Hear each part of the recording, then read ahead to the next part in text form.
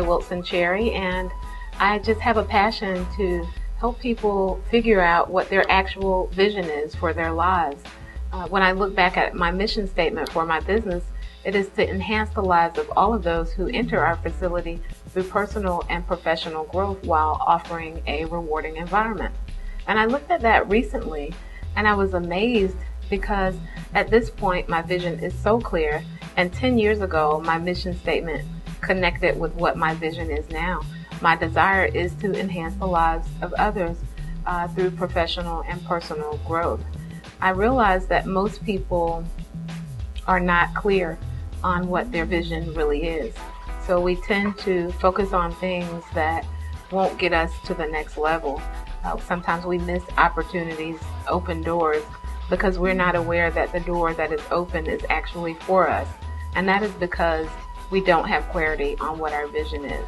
So I've decided to give a class to help individuals find a uh, system uh, of clarity for what their vision is. Every October of each year, I begin to plan out my new year. For instance, uh, October 2012, I began to plan out 2013. I will incorporate those things in the class with all individuals who come to take the class. Um, they will have a plan that they can actually walk out through two, 2013 that connects to their vision. For those who are clueless on what their vision is, I will help them um, with information that they give me, just have some clarity on what their, their vision is for their life so that they're not spending energy in other places and that they're able to walk through or walk, walk out their individual purposes in their lives.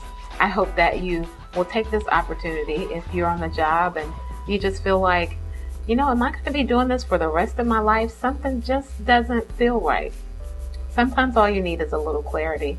I, I learned that your passion will feed you. And a lot of us feel that what we're passionate about is not a nine to fiver. Um, and so we tend to excuse that passion as if it couldn't possibly be what we're intended to do for the rest of our lives. I'll help you to connect with those areas of your life and see how they can actually work for you. We'll put those things on paper and you'll see how to move forward in 2013 and you can use the same principles for each year that comes forth so that you can find and maintain clarity in your vision. Hope to see you there. Bye.